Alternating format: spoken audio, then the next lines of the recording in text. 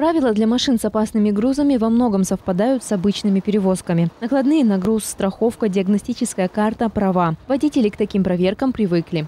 Останавливают постоянно, проверяют техническое состояние, документы все. Обучался я в школе, все, экзамены сдавал. Как бы все нормально, в порядке. Начальник следит за машиной. Проблесковый маячок оранжевого цвета, огнетушитель, надежное закрепление цистерны. Если не соблюдать основные правила, последствия могут быть плачевные. Однако серьезных нарушений за время операции не выявлено. Это разбитые лобовые стекла трещинами от стороны водителя. Потом э, резина э, на одной оси установлена с разным рисунком протектора.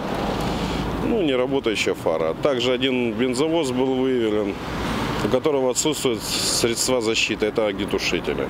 Транспортную компанию, которая не соблюдает правила, ждет штраф. Сумма от 10 до 20 тысяч рублей. Юридические лица могут быть оштрафованы на 400-500 тысяч рублей. Екатерина Рехтина, Игорь Антонов, Телемикс.